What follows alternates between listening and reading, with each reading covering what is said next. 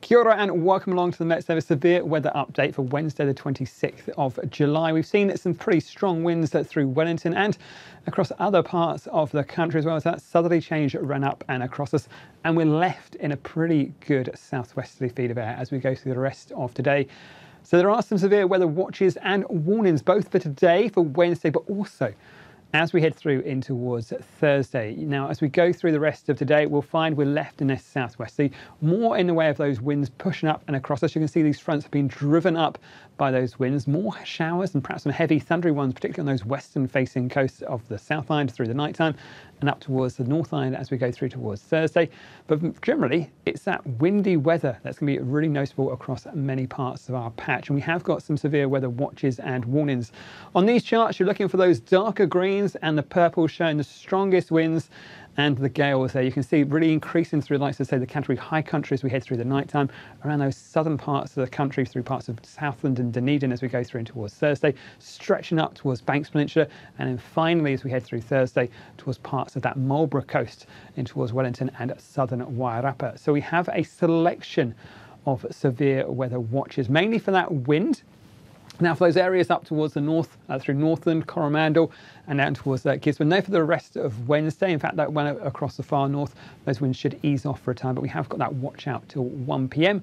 While these ones you can see from Wellington southwards as we go through the daytime on Thursday. So we'll start off with the ones in the northern parts of the country. We've got those southwesterly winds, perhaps reaching gale force in the most exposed areas through to around about 1 p.m. on Wednesday, till around about 4 p.m. for the likes of, say, the Gisborne region. Again, just with those winds reaching severe gale in the most exposed areas around the likes of Mahia as we head through the afternoon there. But down in the south, we'll find the stronger winds as we go through in towards the night time tonight, Wednesday into Thursday. Those winds are really picking up around those southern parts of the country as we go through in towards the daytime on Thursday itself. And you can see strengthening southwesterlies around Banks Peninsula, skirting around the likes of Marlborough and up towards Wellington as well. So a rather windy looking story around that eastern coast of the South Island. Now, for places like Southland, Stewart Island, and uh, perhaps around towards the Clutha, we're looking at those winds picking up from about 10 p.m. on Wednesday, reaching in towards midday Thursday. Gusts perhaps up to around 120 kilometres an hour around those exposed coastal parts. Places like Invercargill could find those strengthening winds as we go through the night time tonight. And those areas are pretty much south of Lumsden. We head across towards Dunedin and North Otago. That risk is perhaps a little bit later on, but from those early hours of Thursday morning, again with those gust values still up to around 120 kilometres an hour as we head through the daytime and up towards the likes of Banks Peninsula, similar kind of values, but again, that risk is later through the afternoon on Thursday in towards Thursday, uh, in towards uh, the nighttime Thursday night, in towards Friday. There is also a watch out through the Canterbury High Country. Now, this is for those winds which are northwesterly, so ahead of the feature rather than the southwesterlies we'll see around Banks Peninsula. But that risk is from midnight tonight through in towards the early hours of Thursday morning. So a little bit sooner for the banks, uh, for the likes of say the Canterbury High Country, and a different direction to the wind, the, to the winds we'll see over Banks Peninsula.